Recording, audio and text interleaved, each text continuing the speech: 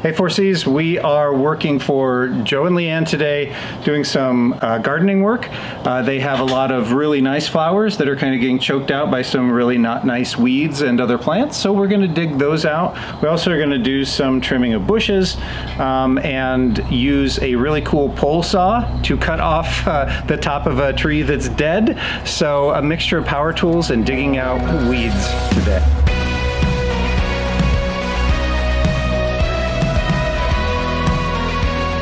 Clearing out pine needles from all the trees that are around the property and also clearing uh, brush and uh, dead branches. We are at Kathy's house and she has a shed slash barn here with a tack room.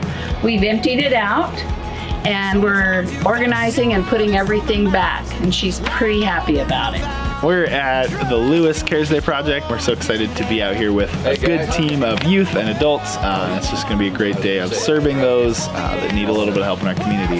You guys are helping us put together 300 pounds of bean soup for the community. Each pack of bean soup provides eight servings of nutritious, shelf-stable food for your community.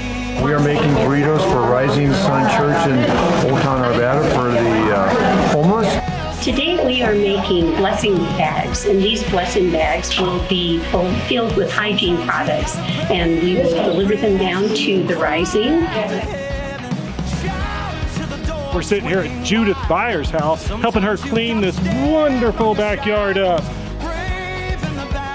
It has been awesome.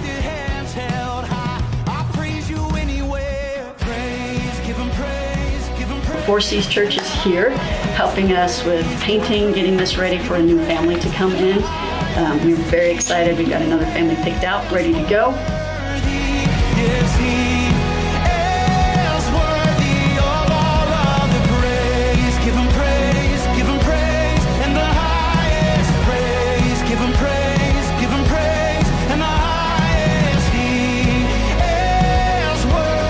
Kathy's house, I'm just trying to help her clean up a little bit. Her brother Terry has flown in from Washington to help us in this process.